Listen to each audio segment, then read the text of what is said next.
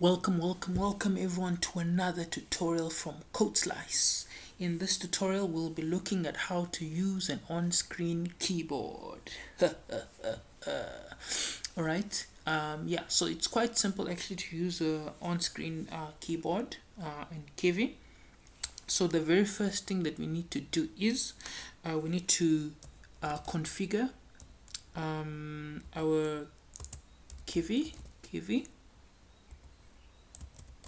config. So now we are importing.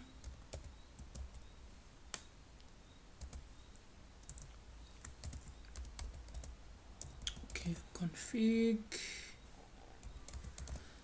Set. Kivy okay then our keyboard mode okay? And then dock I won't explain this now but in the future tutorials I'll explain. Um, yeah but basically we are sort of uh, configuring uh, the keyboard that we're going to use um, in this code here. Yes so when we say dock we are sort of like um, wanting the keyboard to be attached um, to the screen um, in a way. Okay? Um of course we can't just like have you know a keyboard randomly.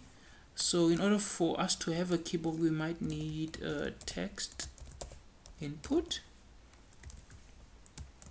Okay? So let's go on and run that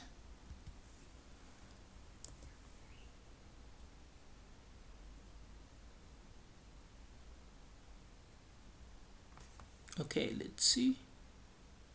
Voila! And ladies and gentlemen that is how easy it is to make a keyboard an on-screen keyboard with Kivy so as you can see when you press it it's working. Alright it's working. And of course you can't use like um, your system keyboard. Alright yeah I'll explain in the future tutorials why yeah Alright, that's it for this tutorial. Take care.